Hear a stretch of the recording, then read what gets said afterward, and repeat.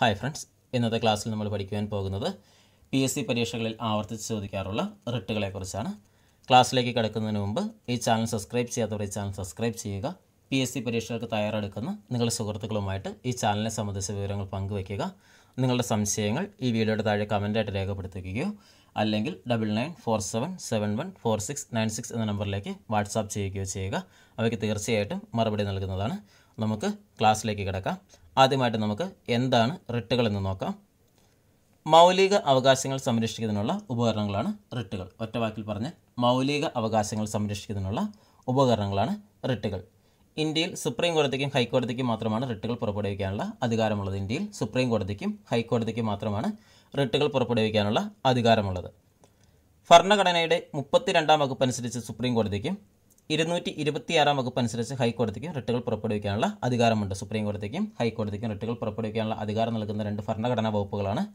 മുപ്പത്തിരണ്ടാം വകുപ്പ് അനുസരിച്ച് സുപ്രീം കോടതിക്കും ഇരുന്നൂറ്റി ഇരുപത്തിയാറാം വകുപ്പ് അനുസരിച്ച് ഹൈക്കോടതിക്കും റിട്ടുകൾ പുറപ്പെടുവിക്കാനുള്ള അധികാരമുണ്ട്. റിട്ട് എന്ന് പറഞ്ഞാൽ മൗലിക അവകാശങ്ങൾ സംരക്ഷിക്കുന്നതിനുള്ള ഉപകരണങ്ങളാണ് റിട്ടുകൾ. ഭരണഘടനയുടെ മുപ്പത്തിരണ്ടാം വകുപ്പ് അനുസരിച്ച് സുപ്രീം കോടതിക്കും ഇരുന്നൂറ്റി ഇരുപത്തിയാറാം വകുപ്പ് അനുസരിച്ച് ഹൈക്കോടതിക്കും റിട്ടുകൾ പുറപ്പെടുവിക്കാനുള്ള അധികാരമുണ്ട്. ഭരണഘടനയുടെ ഹൃദയവും ആത്മാവും എന്ന് ഡോക്ടർ ബി ആർ അംബേദ്കർ വിശേഷിപ്പിച്ചത് ഭരണഘടനയുടെ മുപ്പത്തിരണ്ടാം വകുപ്പിനെയാണ്. ഭരണഘടനയുടെ ഹൃദയവും ആത്മാവും എന്ന് ഡോക്ടർ ബി ആർ അംബേദ്കർ വിശേഷിപ്പിച്ചത് ഭരണഘടനയിലെ മുപ്പത്തിരണ്ടാം വകുപ്പിനെയാണ്.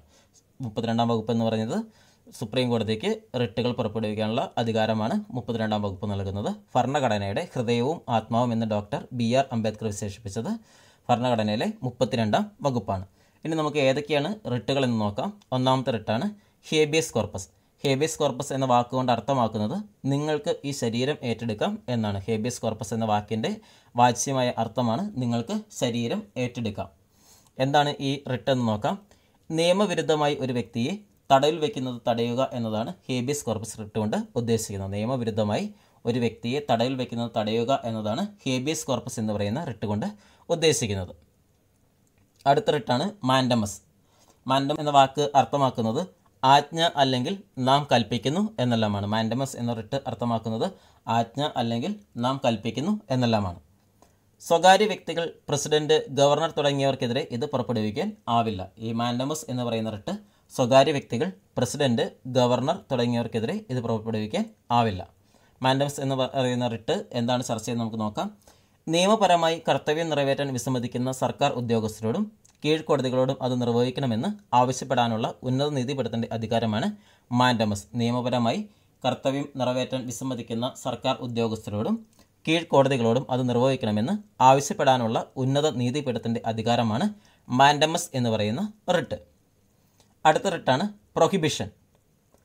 കീഴ്ക്കോടതികൾ അവയുടെ അധികാര പരിധിക്ക് പുറത്തുള്ള കാര്യങ്ങൾ ചെയ്യുമ്പോൾ തടയുവാൻ മേൽക്കോടതികൾക്ക് അധികാരം നൽകുന്ന റിട്ടാണ് പ്രൊഹിബിഷൻ കീഴ്ക്കോടതികൾ അവയുടെ അധികാര പരിധിക്ക് പുറത്തുള്ള കാര്യങ്ങൾ ചെയ്യുമ്പോൾ തടയുവാൻ മേൽക്കോടതികൾക്ക് അധികാരം നൽകുന്ന റിട്ടാണ് പ്രൊഹിബിഷൻ ജുഡീഷ്യൽ അർദ്ധ ജുഡീഷ്യൽ സ്ഥാപനങ്ങൾക്ക് മാത്രമാണ് ഈ പ്രൊഹിബിഷൻ ബാധകമാകുന്നത്. പ്രൊഹിബിഷൻ എന്ന് പറയുന്ന റിട്ട് ബാധകമാകുന്നത് ജുഡീഷ്യൽ അർദ്ധ ജുഡീഷ്യൽ സ്ഥാപനങ്ങൾക്ക് മാത്രമാണ് പ്രൊഹിബിഷൻ ബാധകമാകുന്നത്. അടുത്ത റിട്ടാണ് സെർഷ്യൂററി ഇതും കോടതിയുമായിട്ട് ബന്ധപ്പെട്ട ഒരു റിട്ടാണ്. കീഴ്ക്കോടതികൾ സ്വന്തം അധികാര പരിധിക്ക് പുറത്തുള്ള കാര്യങ്ങളിൽ എടുത്ത തീരുമാനങ്ങളെ അസാധുവാക്കാനുള്ള മേൽക്കോടതികളുടെ അധികാരമാണ് സെർഷ്യൂററി. കീഴ്ക്കോടതികൾ സ്വന്തം അധികാര പരിധിക്ക് പുറത്തുള്ള കാര്യങ്ങളിൽ എടുത്ത തീരുമാനങ്ങളെ അസാധുവാക്കാനുള്ള മേൽക്കോടതികളുടെ അധികാരമാണ് സെർഷ്യൂററി. വേറൊരു വിധത്തിൽ കൂടി നമുക്ക് പറയാം. ഒരു കേസ് കീഴ്ക്കോടതിയിൽ നിന്നും മേൽക്കോടതിയിലേക്ക് മാറ്റാൻ ഉത്തരവിടുന്ന റിട്ടും സെർഷ്യൂററിയാണ്. ഒരു കേസ് കീഴ്ക്കോടതിയിൽ നിന്നും മേൽക്കോടതിയിലേക്ക് മാറ്റാൻ ഉത്തരവിടുന്ന റിട്ടും സെർഷ്യൂററിയാണ്.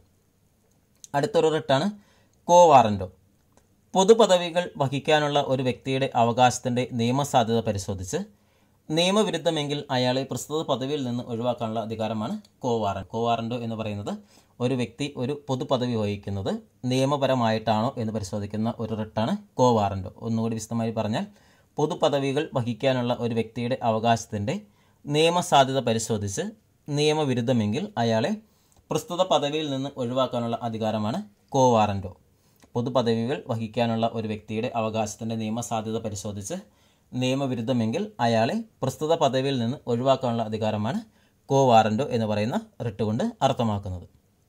അഞ്ച് റിട്ടുകൾ നമ്മൾ പഠിച്ചു കഴിഞ്ഞു. നിങ്ങൾക്ക് ഈ ക്ലാസ് ഇഷ്ടമായെങ്കിൽ നിങ്ങളുടെ അഭിപ്രായങ്ങളും നിർദ്ദേശങ്ങളും ഈ വീഡിയോയുടെ താഴെ കമന്റായിട്ട് രേഖപ്പെടുത്തുക. നിങ്ങളുടെ പി എസ് സി പരീക്ഷയിൽ തയ്യാറെടുക്കുന്ന നിങ്ങളുടെ സുഹൃത്തുക്കളുമായിട്ട് ഈ ചാനലിനെ സംബന്ധിച്ച വിവരങ്ങൾ പങ്കുവയ്ക്കാൻ മറക്കരുത്. നിങ്ങളുടെ അഭിപ്രായങ്ങളും നിർദ്ദേശങ്ങളും ഷെയർ ചെയ്യുക. നിങ്ങളുടെ അഭിപ്രായങ്ങളും നിർദ്ദേശങ്ങളും ഞാനുമായിട്ട് ഷെയർ ചെയ്യുക. അടുത്ത വീഡിയോയുമായിട്ട് വരുന്നതുവരെ എവർക്കും ഗുഡ് ബൈ. എവർക്കും പി എസ് സി ഫാക്ടറി ടീമിന്റെ വിജയാശംസകൾ.